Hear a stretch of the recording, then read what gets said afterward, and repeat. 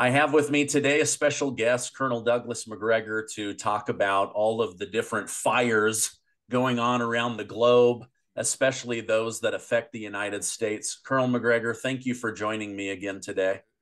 Sure, happy to be here. Wanted to get your thoughts on this because um, I, I, have um, people like Gerald Celente from the Trends Journal on, and and he says things like, you know, we're already in World War. You think that they just start overnight? No, they slowly build. Um, just this morning, I was reading that Ukraine is telling their citizens Belarus is about to attack us. Be ready to be attacked by Belarus. They're also saying Hungary and Romania are about to come take back Western Ukraine. And then Finland is telling their people Russia's about to attack us and if they do, Belarus will jump in. So, like, there's all these rumors of wars going on. And it, like, doesn't that just put everyone on pins and needles? And and that's can what can really light the fire of a, a, a third world war. Well, first, that's the uh, playbook. If you're a neoconservative and the neocons are driving the train, they're part of the larger globalist elite that wants to transform us into sedated sheep you know they they want to degrade the concept of a human being with a with a living soul and adopt the atheistic uh, sort of materialistic approach to dealing with people as fungi- fungible products or commodities things that are meaningless in and of themselves that can be employed as they see fit. This kind of trotskyite logic and thinking was the origin behind the comintern and we've become a kind of 21st century version of the same thing. No, you're absolutely right. We we are we are sowing the the seeds of discord everywhere we possibly can. Now, can all of these come together and result in a global catastrophe? I suppose it's possible. It's never impossible. But there are a few differences that need to be noted. In 1914, when you went when we saw the First World War break out, all of the major participants uh, were already primed for some sort of conflict. They all underestimated its dangers and its destructiveness, but they were all ready to pounce. They were already in the launch mode. It didn't take much to cause it. In fact, uh, Gavrilo Princip, the man that killed the Archduke, said after he was captured, even if I had never been there and never shot the Archduke, eventually this war was going to happen. Well, there's some truth to that. But what you have is the slow burn today that takes months and years versus the month or so that elapsed between 28 June and the end of July, 1, 2, 3, 4 August. In other words, everyone did not instantly pull the trigger. It took a succession of events. Well, take that same sort of choreography and apply it to the world today. We're not going to see World War III break out this week or next week. It's going to take a few months. I think by April, May timeframe, all the pieces will be in place. And whoever is not involved in the region or externally will become involved. Remember, Russia is closely aligned with Iran. The Russians are not going to allow Iran to be destroyed. By the way, if Turkey entered this uh, fight, the Russians would not allow Turkey to be destroyed. The, the interesting thing is that Russia and China seem to be very concerned about preserving the international system. We seem hell bent to destroy it. And yet we're the people that talk about, you know, the rule based order. What rules? Whatever we say is the rule. Whatever we say, you do. That's all. It's all hypocritical nonsense. It's meaningless nonsense. It's a facade. We're not even enforcing our own laws inside the United States. We're rewarding criminals for their criminal behavior. We're putting policemen in jail. Policemen are afraid to enforce the law. We won't defend our borders. We now have a president who wants to commit federal forces against Texas and anyone else that challenges the right of his party, his administration, the swamp. Just put it all together to open our borders and flood us with millions of people that we did not invite we can't use, we can't assimilate, we can't put to work. And everybody talks about, well, our economy is growing. It's government spending. We are not growing. Our economy is weak. That's the point. And our financial position has never been more fragile. And it's only a matter of time until the world holds a fire sale on our treasuries. Look, we are going to take $300 billion in assets that are Russian and illegally seize those and turn those monies or assets over to Ukraine, this criminal regime in Kiev that's our puppet led by Zelensky. Now let's stop and think about that. If you watch this, if you're India, if you're China, if you're Saudi Arabia, pick your pick your country, Brazil, uh, Argentina, anywhere. Why would you want to hold U.S. treasuries? How do you know the rug's not going to be pulled out from under you the way we are pulling it out from under Russia? They're going to start offloading our treasuries. And remember, most of these were purchased when they were at 0% interest. So these things are of very little value to them anymore. It's a losing proposition.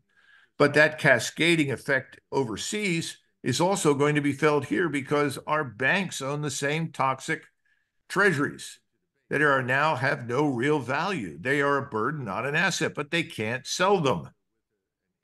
What happens to us? We're, we're just walking into a giant bear trap. That's the point. Yeah. Oh gosh.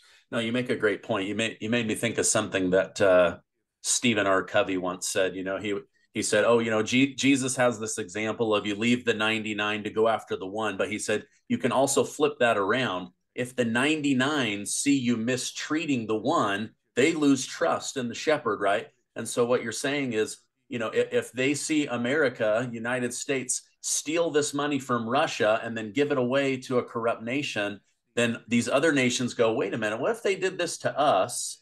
Uh, let, let's get out of their paper. Let's get out of their assets. Um, like you say, that that could create a huge firestorm, uh, you know, financially for us here in here in the United States. Um, final question. I, I appreciate you coming on. Um, what are what are your thoughts on this situation at the border? We have Governor Abbott who's saying I have the right to defend my state. I have the right to keep my people safe. We are, you know, the the biggest loading zone for illegal immigrants coming into the country. I'm I want these other national guards coming in. Let's protect this. And now you have the federal government saying, no, absolutely not. Tear down the barbed wire, let them in, process them faster. Uh, and and but then at the same time giving lip service saying we we might need to close the border. Immigration's out of control. Does it, does all of the the positive talking points out of the Biden administration is that all just to get reelected? Like, what are your thoughts on this situation? Yes, it's meaningless. Okay, just just ignore it. Uh, you know, if it were flatulence, it wouldn't stink up a broom closet. Just ignore it. What are we seeing happen? Well, we're seeing something very tragic. National Guardsmen, just like soldiers in the regular army, are all sworn to uphold the Constitution and to protect the American people. And we're actually talking about a situation where conceivably this president could order federal forces to intervene against guardsmen on the border with Texas in order to open the border to millions more people about whom we know nothing, and many of whom probably present a clear and present danger to our country and to our society. What is wrong? This is this is not something that the U.S. Army and the National Guard should have to confront. The, these people serve the same flag. You know, it's no surprise that soldiers being interviewed. These are regular Army soldiers at various Army posts, including Fort Hood, which is now Fort Cavazos, are saying, I'm not going to do it. You know, I agree with the National Guard. We should protect the country. Some of them have said, well, I'll I'll go over to the guard. Well, that's punishable under the Uniform Code of Military Justice. It would be very sad if something like that happened and we were prosecuting soldiers who have sworn to protect the country for for not committing treason. Because arguably, when you look at what this administration is being done, it looks increasingly a lot like treason. Why would you subject your your country to this? It doesn't make any sense. Why would you subject your people to this? I was talking to some some people recently that had lost their jobs, you know, it's a bad economy, but in some cases, these people had lost their jobs because their jobs were then had gone to illegals.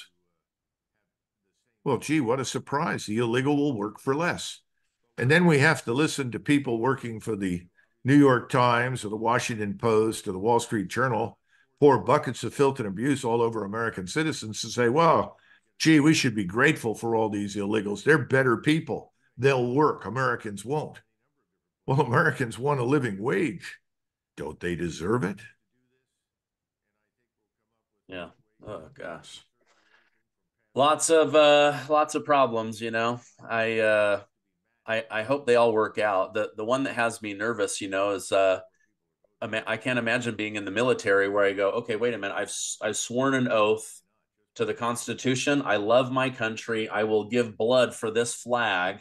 And then the the you know the the chief commander is saying to go is giving an order that feels like it's against the Constitution, that it feels like it's against protecting the United States. I mean, I can't imagine the mental the mental game that is going on in people's minds right now as they are potentially sent against their own brothers and sisters in Texas. Well, no, I mean that no responsible commander in chief would do that to soldiers and guardsmen. It's out of the question. That's why I'm saying no soldier or guardsman should ever have to confront this issue. This is something that should have been sorted out a long time ago in Washington, D.C. But unfortunately, the American people are an afterthought. And oh, by the way, we need to bomb Iran. Insane. Makes no sense whatsoever.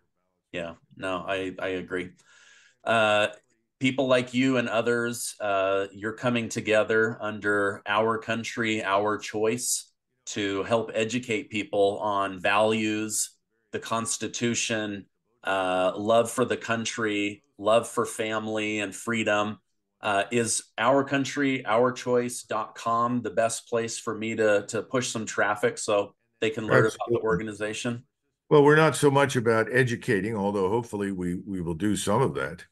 We think large numbers of Americans understand what you and I have been discussing we want them to join us. We want other like minded organizations to join us. We will give them room on our platform. We're building a media platform as well as building uh, the membership in our organization, which we regard as a movement, which we think can become the third way in American politics. In other words, conceivably, over the long term, it can become the foundation for a third party. We badly need an American national party. The Democrats and Republicans don't qualify in that category. That's the problem. Yeah. Okay. Well, I'll push. I'll push uh, people down uh, through that link. Um, I appreciate you coming on. I know your time is valuable.